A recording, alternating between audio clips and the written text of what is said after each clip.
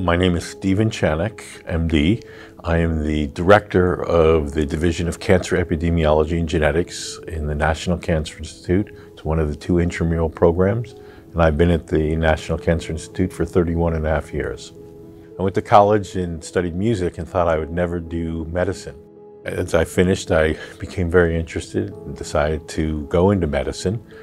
And it was a very unusual and bittersweet moment. I was accepted to go to Harvard Medical School. I was living in France and England studying music. And then the next day, my older brother, my only brother, calls to tell me he has a pediatric cancer, synovial cell sarcoma.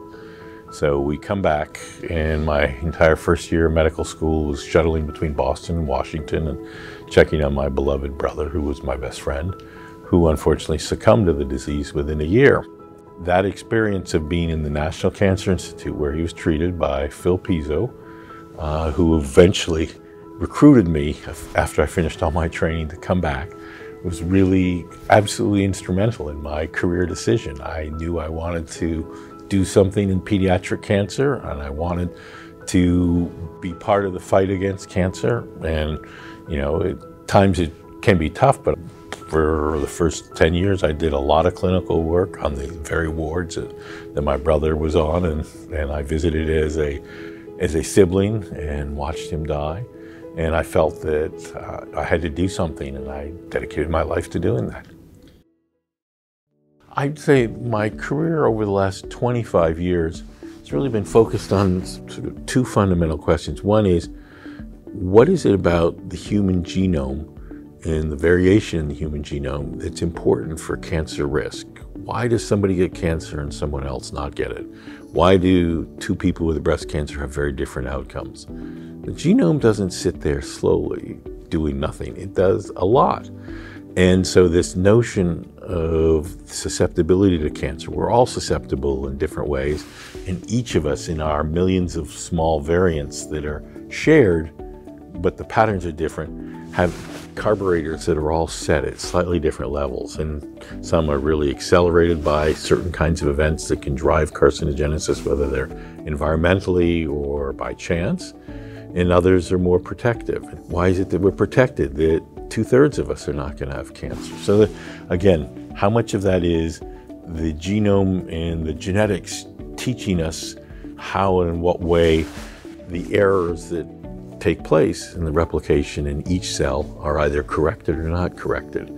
So um, I'm very involved in running studies now looking at survivors from uh, the Chernobyl accident who developed cancer and what is it about the radiation and how the signatures or how do the uh, you know the vestiges of the radiation either drive or continue to be seen in those individuals who develop cancer and those who don't.